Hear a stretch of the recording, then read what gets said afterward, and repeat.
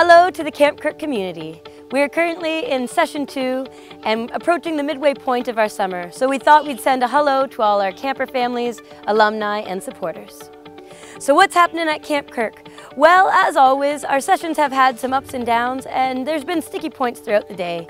As happens with everyone, frustration can spike, some social conflicts. But what's most important is that the kids and staff have figured a way to come together to support one another and make this place feel like home for everyone. So although the heat is raging at times and our grass is looking a little worse for wear, I'm happy to report that the spirit of the Camp Kirk community is alive and well. The kids and staff are being their quirky and wonderful selves, and summer 2018 is feeling good.